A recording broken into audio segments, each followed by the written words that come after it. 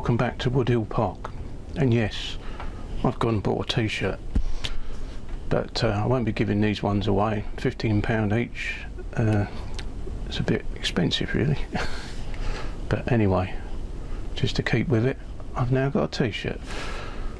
I, uh, well in this one, I've been not doing a hell of a lot because of the cold weather.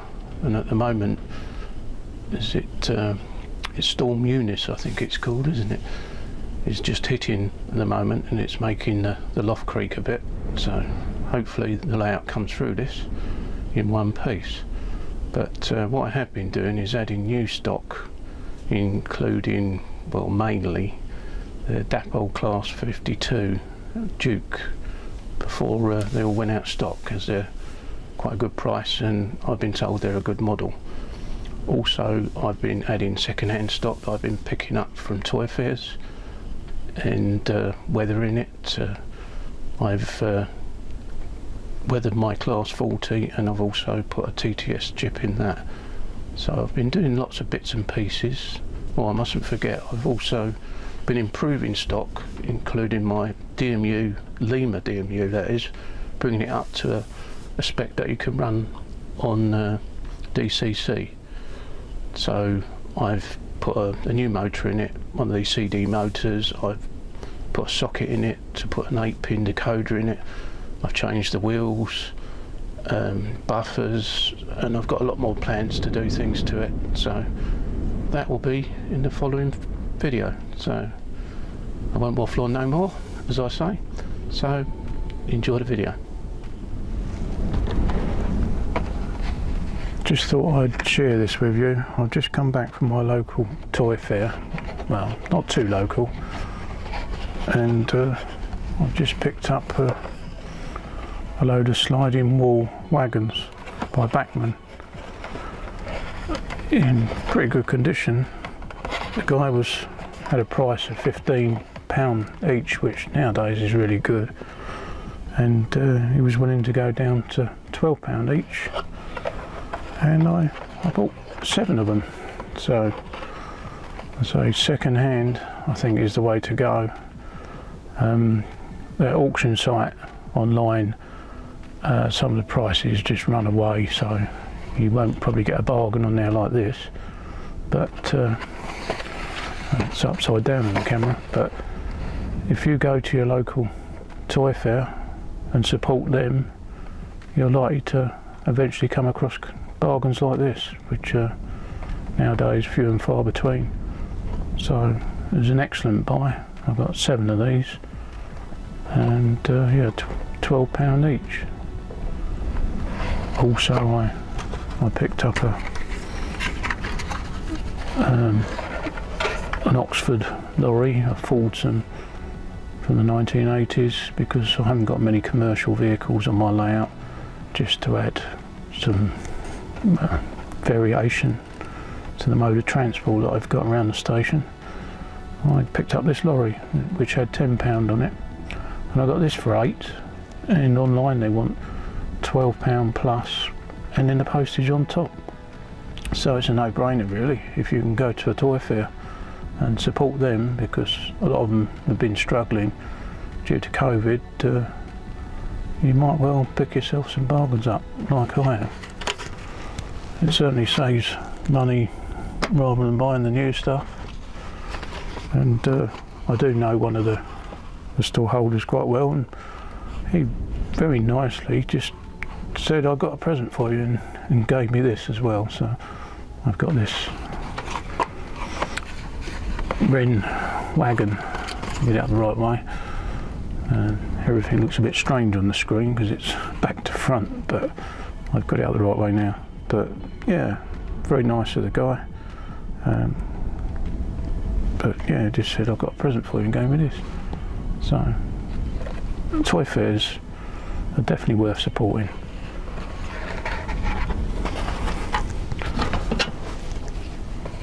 I even picked up a book for a pound. Can't go wrong with that, can you? A pound. When it was new, it was £2.95, and that was 1985 is it so go and support that local toy fair and maybe you'll pick up some bargains like this. Right, just time to place them on the layout. So I think I'll put the Royal Mail truck on the bridge.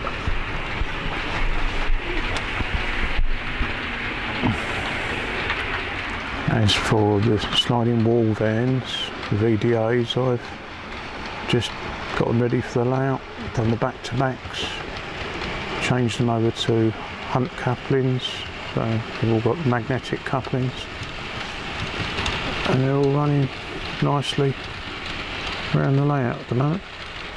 Just need to be weathered eventually.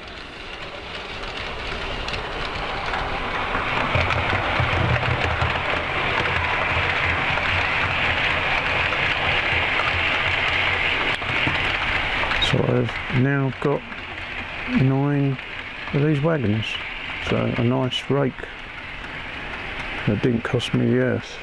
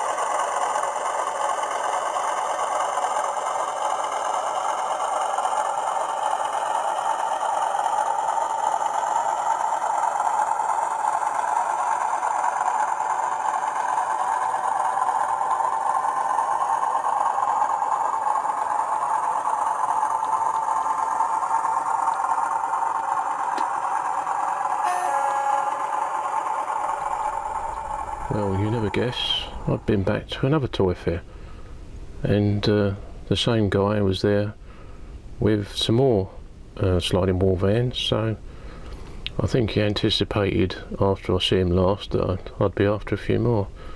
But uh, I've now built the rake up to 12, so that's enough. So I was only after three more, in fact.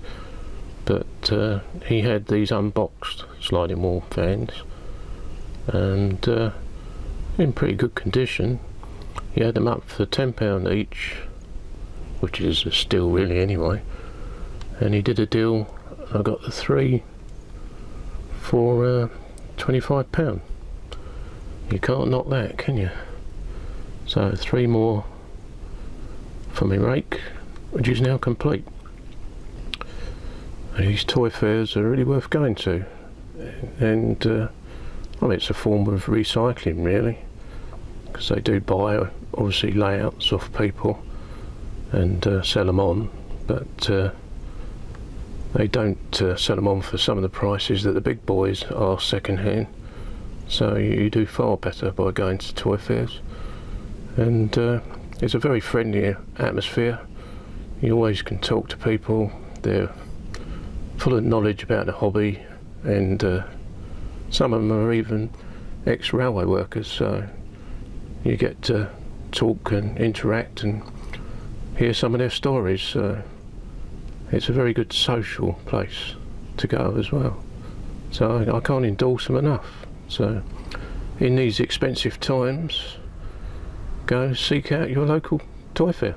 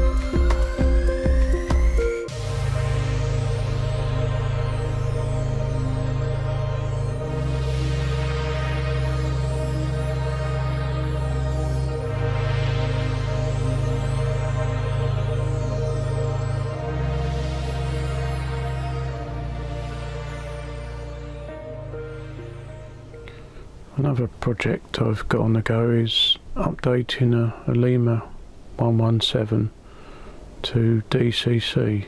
I'm uh, going to attempt to change the motor over for a CD motor and change the wheels so the flanges on the wheels don't short out the frogs in the points and uh, yeah, just change it over to DCC.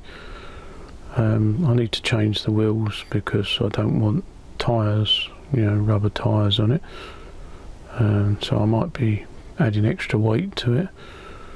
But uh, there's certain old uh, locos, you might say, that uh, possibly are worth sort of bringing across to DCC.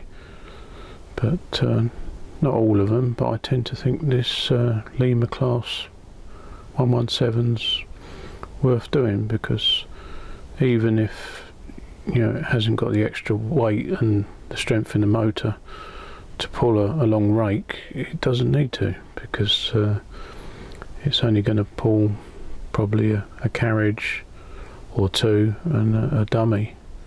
So it should be well able to do that.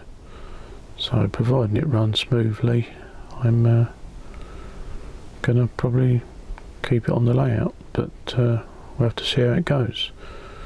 As uh, this is just an ongoing project that I'm gonna tackle next.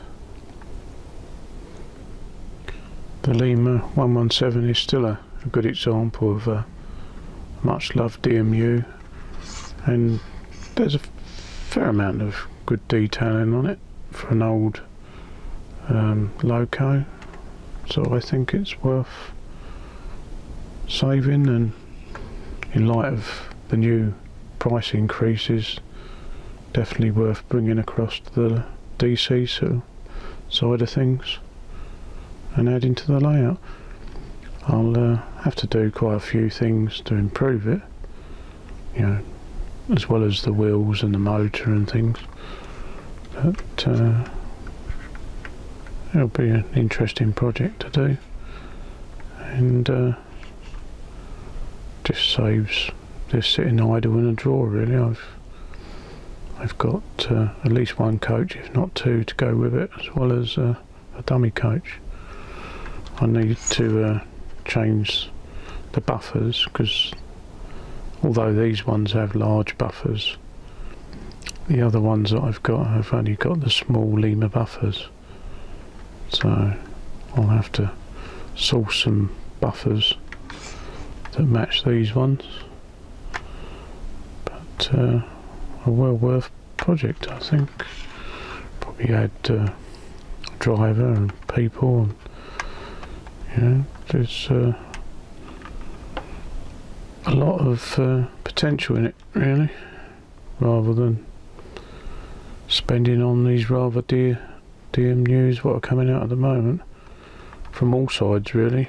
Know, Bachmann Hornby you know 200 pound jobs. They're just uh, getting silly really. I've just had a closer look and uh, I've got a motor end and two carriages and a dummy end. And I don't think they cost me much more than 50 quid for the lot in the past so they're, they're just going to waste so I think uh, it's definitely worth giving it a go and see see what I can come up with uh, running them on DCC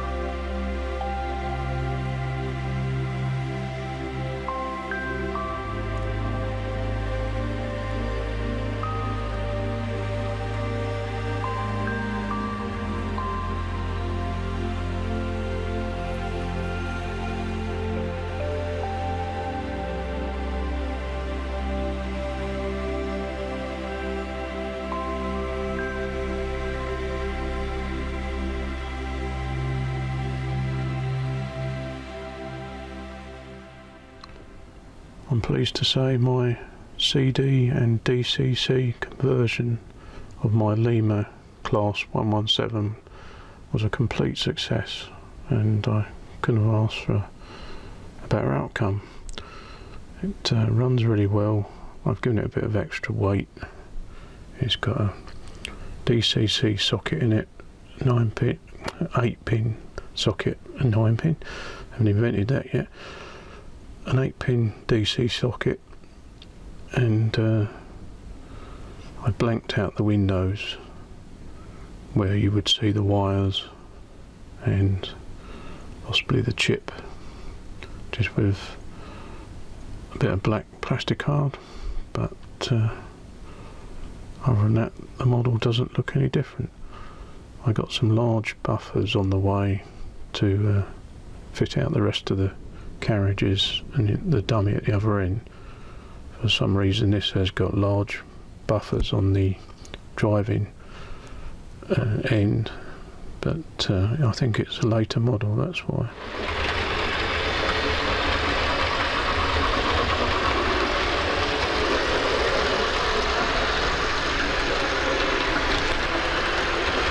Quite quiet. Not as quiet as modern day trains but certainly quieter than a conventional old Lima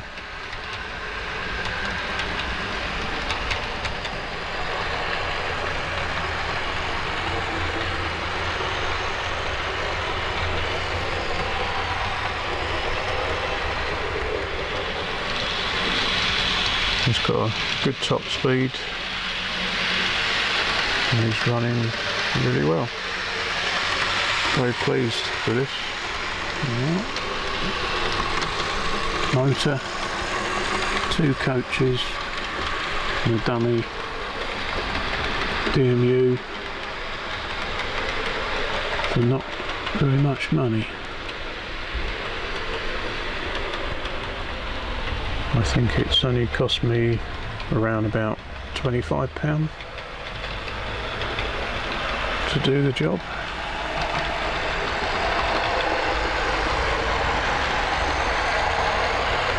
It's given me a train that, well, could cost anything from 100 to 200 pounds.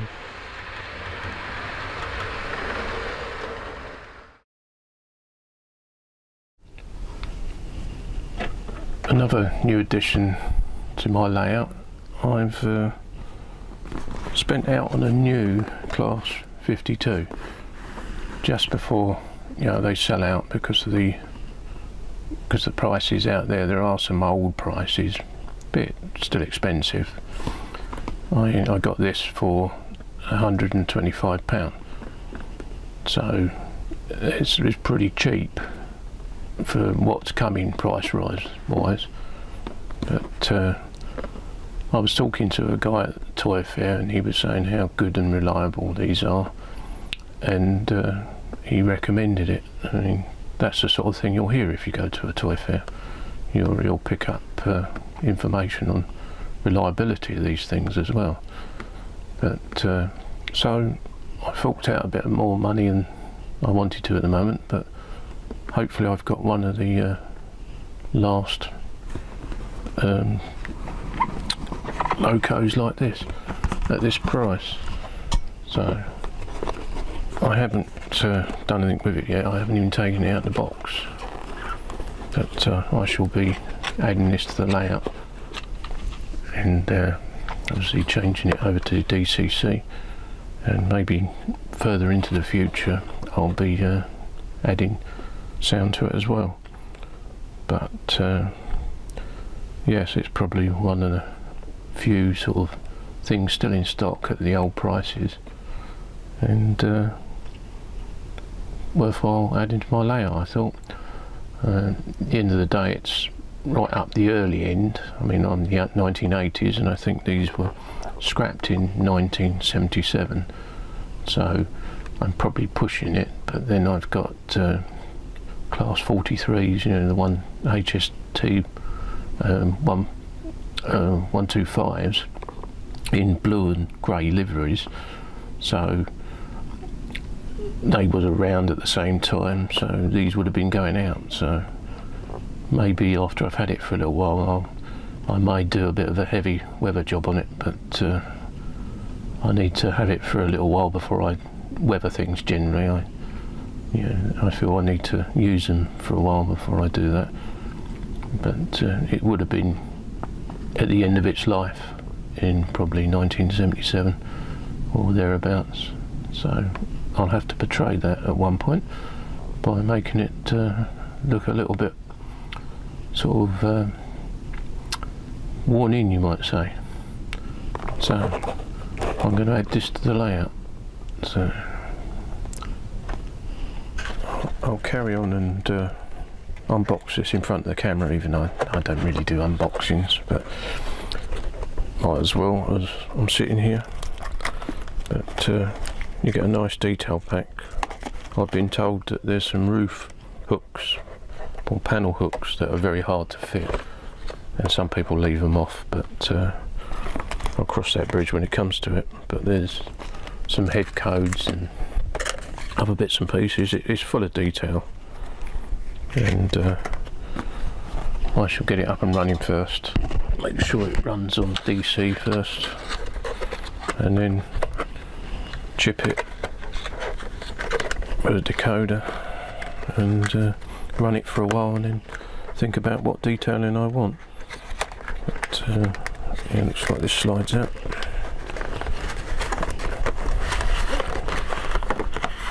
Carefully.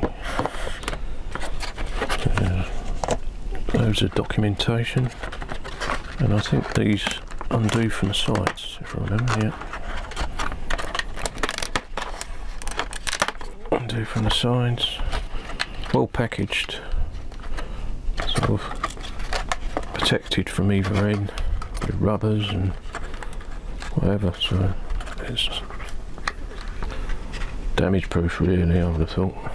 It all looks really nice in one piece. Looks like another lovely model. Right, carefully take it out. That aside.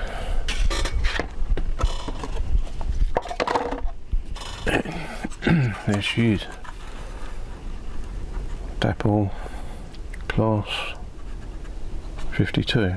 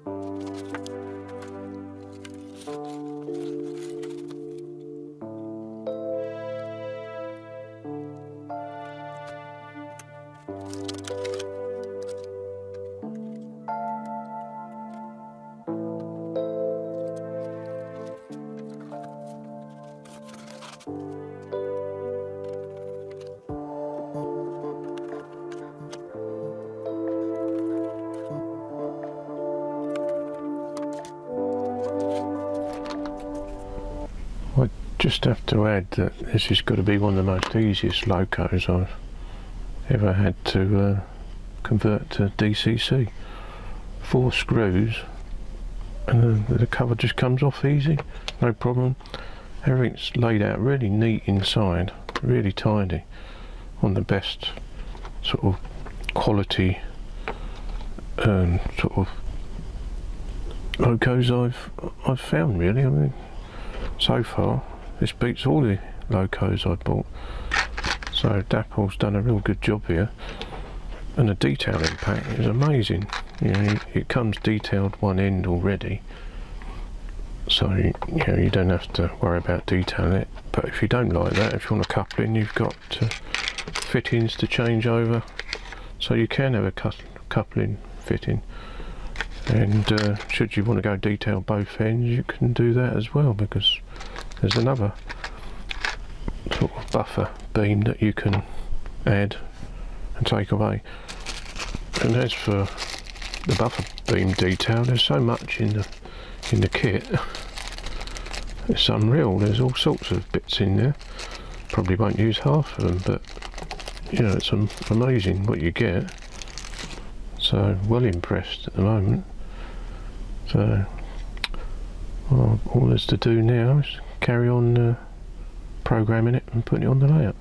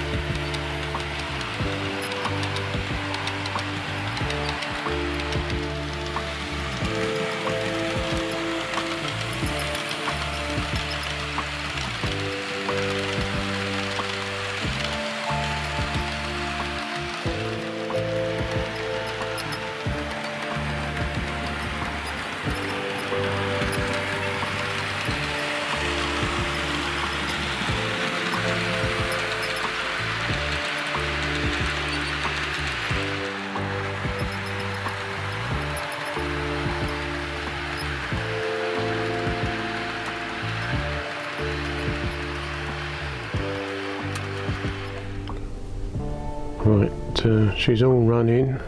All I need to do now really is add any detailing I want and name plates. But I'll do that at a later date. At the moment, uh, just running, uh, just getting used to how she uh, performs really.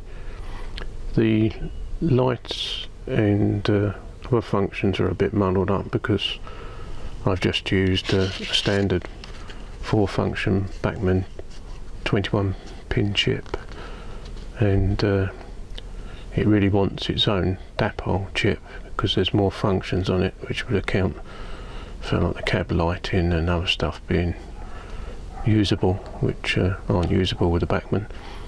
But I'm not going to rush to do that because I'm thinking maybe in the future of putting sound in it so that will be just a waste of money buying a a uh, Dapol chip so it'll run perfectly alright on this Bachmann so till I've made my mind up I won't spend any more money.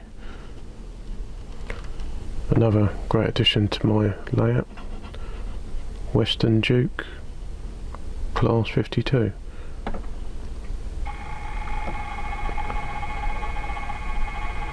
now she's running. She's got a nice smooth crawl on her.